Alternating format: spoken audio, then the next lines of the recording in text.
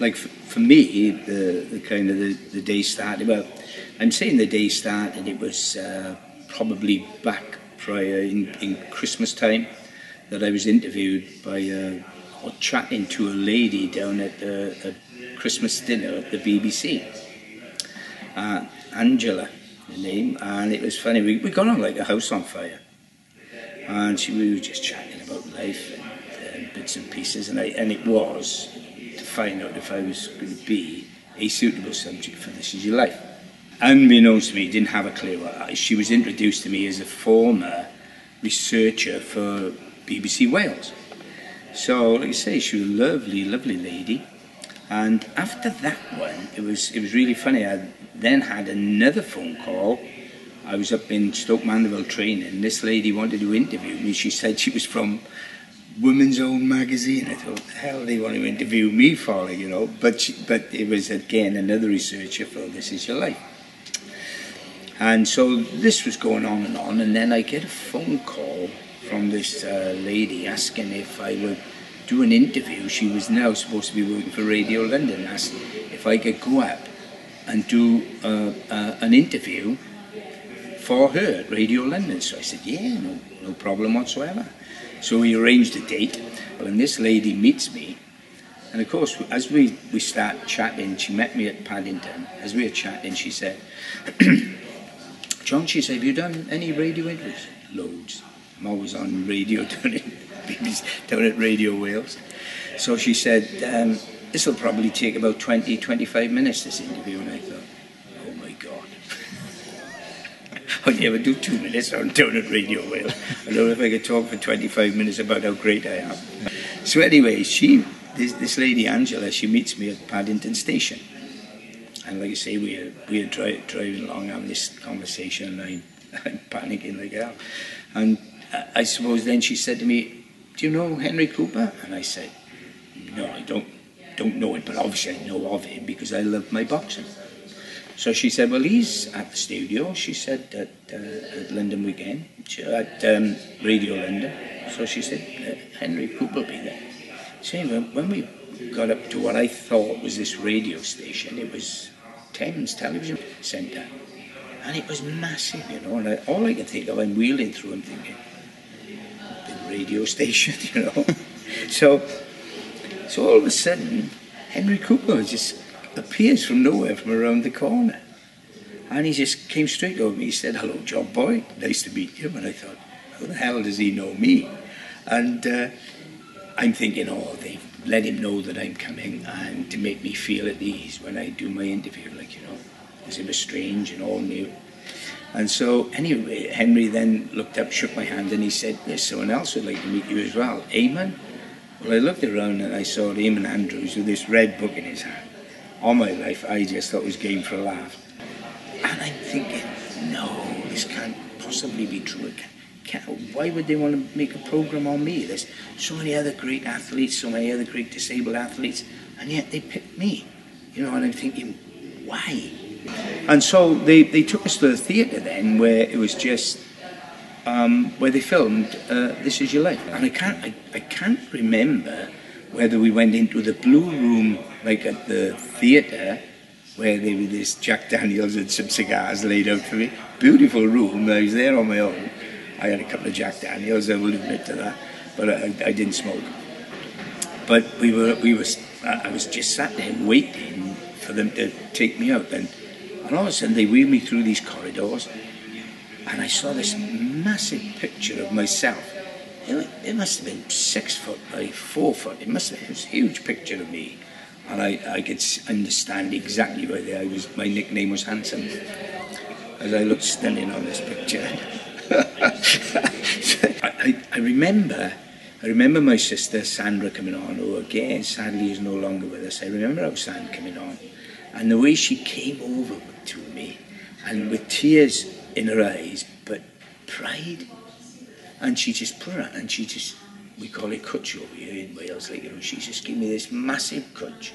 And then my sister Linda did exactly the same, and then I went down my nephew came on and uh, we were very, very close, our Nigel. uh, Dow I call him. And uh, but he came on, and, and of course I remember Di and Buzzy and Shades, Chris Allen. They all they all came on one by one, like you know, to to make my life. And you don't need to be a celebrity to have friends and for people to make your life. They made my life. All those people that came on there, and and I loved them all, you know. And, and Uncle Bert and Auntie Alice who brought me up, you know, these were people that made my made me who I was, you know. And to see, then to see the Pontypool rugby players, that gave my life kudos and credibility. I wasn't just this guy in a wheelchair, you know, that did sport. That very few people knew too much about Paralympic sport. But every single one of the Pontypool rugby players came on there. And that was respect. Oh, I think I think it was perfect. I think it was perfect because what it had was, you know, how I broke my back, uh, having a fairground accident, and then going on to, you know, take part in sport. And, and people like in my book there, Ken Wells, I was I turned into a drunk, and Ken said to me, you know, about training, come down the gym and train with me. And I thought, the hell am I going to do that, you know? And so, but I eventually plucked up a courage, and he gave me that chance to compete. Steve Gregg, him and I, we competed out in out in Montreal back in 1979, where he met a Canadian girl, married her, and lived out there. So Steve would have been the last person in the world I would have thought would have been on there on the program, because when they introduced him, Steve, I thought they were doing a film from from Canada, and then all of a sudden he came through the doors. Oh, that was wonderful when we competed all over the world together. I loved him to bits. He was awesome. huge impact at home. Absolutely huge. It was all obviously it was on all the, the, the local press were picking it up, you know, and local uh, TV and radio. They were all picking up on it. But I had, at that particular time, I had a shop, a newsagent shop. And I had one lad come in, and it was dead quiet. Jeffrey, the young boy, came in. And he came up to the counter, and he was, he was fidgeting and fumbling a bit. And he was looking over his shoulder, looking up and around, you know, and then all of a sudden he said, um, can I ask you a personal question, John? I thought, oh my God, where's this one going now? And I said, um, yes, Jeffrey, what do, you, what do you want to know, mate? He said, um, what's it like to be famous and on This Is Your Life? it, was, it was crazy. There was, for me, there was no negatives whatsoever. Not one negative came out of having this big red book. And, and that, that book kind of enabled me. Uh, you know, I do go around, I do quite a bit of uh, uh, uh, motivational speaking, after dinner speaking, whatever, you know. And a lot of it is down to that, that book. That people want to see him and think, whoa, hang on a second. And not always about my medals and what I've achieved sports wise, but because I've been on this Is Your Life, you'd be surprised at the, like, oh, a certain generation will look at me totally different once they know I've been on there. You've been on this Is Your Life. You know, eyes wide open. Whoa. So you are special, you're not just that damn bloke in a wheelchair. for me, all I'd ever trained for was to be an athlete. I wanted to be remembered as an athlete. I did become world champion. I did have an Olympic gold medal. You know, so I did all those things. That's what I trained to do. And then all of a sudden, someone decides to put me on This Is Your Life. And it was one of the most single greatest things that ever happened to me. I was blown away by the by the whole day, you know, by my whole family and everything that went with it, you know, it was it was just totally amazing, an amazing day amazing day that I was just one of 1,100 people, 1,104 people. It's not bad, is it?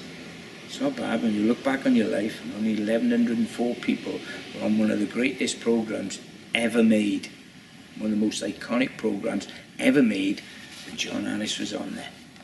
Whoa, something to look back on that. Even now, when I, when I look at that book, and as soon as I open that book to see all my friends and family on there, that's what makes it as well, like, you know. When I met Eamonn Andrews, I was in a car with Eamonn Andrews. I was there.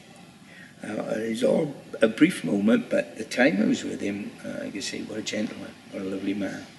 It's awesome. Awesome time.